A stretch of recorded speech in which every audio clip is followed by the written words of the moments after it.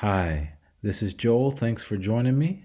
I will be praying for President Trump today, and today's focus is going to be on policies.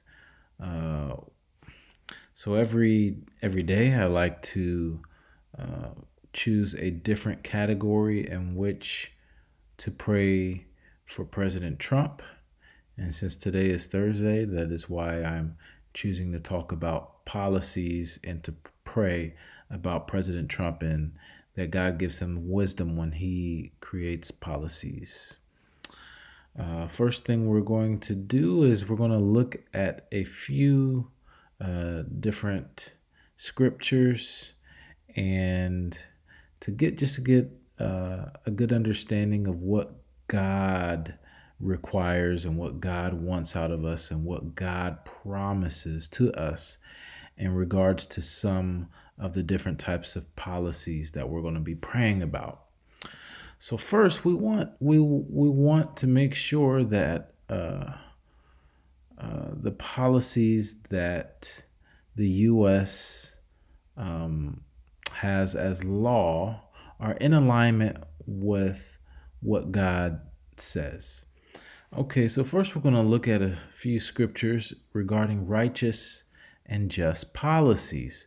Okay, so Leviticus 19:36 says, "Just balances, just weights, a just ephah and a just hin shall ye have. I am the Lord your God which brought you out of the land of Egypt. Therefore shall ye observe all my statutes and all my judgments and do them. I am the Lord." Okay, so uh, Yahweh is speaking um, to the children of Israel through Moses. And what he is saying is that just balances, just weights, uh, just uh, ephah, these are all in a just hand, these are all different types of way to measure uh, material and liquids. That's uh, what the ephah and the hen, hin are. So, what uh, Yahweh is saying in the scripture is that uh, you as a nation, Israel, need to have just balances and just ways, weights. Uh, so when you uh, judge a matter, that you judge righteously. Um, and in all areas of life, uh, God wanted the children of Israel to be fair and to be just. And so, what we want to do is pray that President Trump, uh, as he thinks of policies and as he signs executive orders and as he vetoes orders, that he has in mind uh, and that he be led by the Spirit of God to enact just and righteous laws and policies. Okay, next, in regards to abortion policies, uh, we want to pray that President Trump keeps fighting against the killing of babies. Um, one thing that really angers me is the amount of abortions that I hear that have been done here in the US and all around the world, and that this is legal.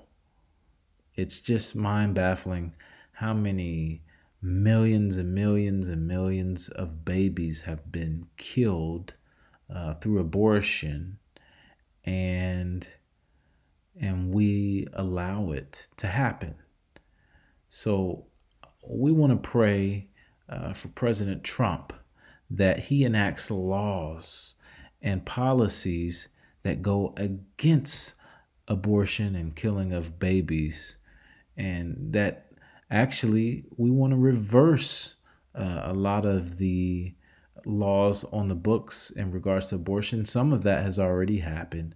Uh, Planned Parenthood uh, for example, has been defunded in many places, or at least their funding has been minimized.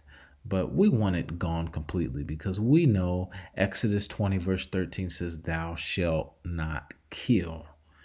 And abortion is a form of murder, it's a form of killing. Um, this this is uh, one thing that I know that God hates. So this is something we also need to keep in mind as we're praying. Next, we want to pray that President Trump supports the institution of marriage between one man and one woman. So anything un- other than one man and one woman uh, joining together and getting married is is not marriage. Marriage is defined uh, by the scriptures is between one man and one woman, not one, not uh, two men or two women, or uh, something else besides that. You know, you can't marry a tree. That's not that's not right. So the laws that we have uh, should align with God's word. So we want to pray that President Trump makes good le- legislation, righteous legislation, in support of the institution of marriage as defined by Yahweh. Uh, we uh, let's look at a few scriptures. One, Matthew 19 5 says, And said, For this cause shall a man leave father and mother, and shall cleave to his wife, and they twain shall be one flesh.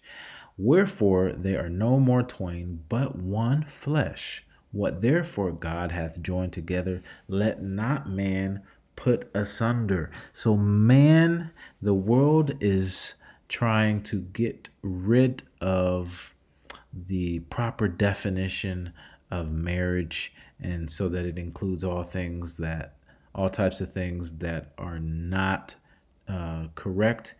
Um, so, we want to make sure that we lift uh, President Trump up so that he has the wisdom to create the right policies when it comes to marriage. Okay, so next we're going to look at gender policies. So we want to pray uh, for Trump to develop and support policies that affirm man and woman as defined by Yahweh. So Genesis 1:27 says, "So God created man in his own image, in the image of God created he him, male and female created he them." Okay, so male and female are the only genders that exist. There's nothing else. No matter what people say or how confused they are, there's nothing else, just male and female. And the confusion of certain individuals about their sex doesn't change the laws of nature given by Yahweh Vavhe, by Yahweh. It doesn't change the laws of nature given by God. So if someone is born biologically a man, but they think they're a woman, I do not have to agree with them, take that stance, or call them by a pronoun that they prefer. I prefer to call people by what God says, who God says they are. So if God has made a person a man, they are a man. If He's made them a woman, they are a woman. And it's not hard to figure out which one you are. So if you're confused, that is your issue, and I, am willing to pray for you, but I'm not going to call you something that you're not. Okay? So, one thing that I'm going to pray for, and we should all pray for, is for President Trump so that he has the courage to stand up against all these groups that want to change the way we look at male and female. God created man and woman and that's it. And he didn't give us the ability to change our sex just because that's what we'd rather do. Okay, in this next slide, uh, we can just look at some other categories that we can pray for and be praying for during the week and during and on your spare time. Uh, I'm not going to go through all of these uh, different categories, but the, you know, there's many different types of policy issues that are going on, and in the future, I'll probably focus on some more specific policies that we can be looking at and praying about. Um, but keep in mind all of these different types of policies abortion, healthcare, law enforcement, marriage, uh, gender, economical policies, religious freedoms, free speech, and education. All these things are very important so uh, let's now go in prayer. We've we've read the word, and now we uh, have a good uh, understanding of what God wants and what He requires. Mm-hmm. Heavenly Father, uh, we ask, Father, that uh, President Trump, when it comes to abortion laws, that he stand up against abortion. I pray that he will fight the uh, the groups and the individuals that would like to uh, for for abortion to uh, be carried out in this nation, and I pray that he will have the backbone to uh, sign executive orders and to uh, not support uh, giving funding to all of these abortion clinics, Father. I pray that uh, your will will be done. We know how uh, in your word you do not uh, allow us to kill. You said, Thou shalt not kill. And we, we know that the children of Israel, you were angry at them for them offering up their children to the God Molech, Father. So we're asking, Father, that this abortion be stopped in our nation. Things that seem hard is not hard or impossible with you. With you, all things are possible. So we're going to be praying that this we we pray that this uh, abortion will be stopped, Father, in this nation, Father. Uh, we ask, Father, also for uh, marriage policies. We pray, Father, that marriage uh, be uplifted and upheld. We ask that the institution of marriage between one man and one woman uh, will be supported by President Trump, Trump when it comes to policies that are created, Father. We uh, know that it is your will that uh, people be married when they live amongst each other and when they have children. That is your way of doing things, Father. So we ask not only for uh, President Trump to support it, but we also ask that the leaders uh, in our nation, the spiritual leaders, will also take a stand for marriage and the biblical sense, Father, and, and not support uh, what is called gay marriage, Father, and and uh, things that are not right, things that are not holy. We ask this in the name of Yeshua. We also ask that uh, you give President Trump wisdom in regards to creating policies surrounding gender.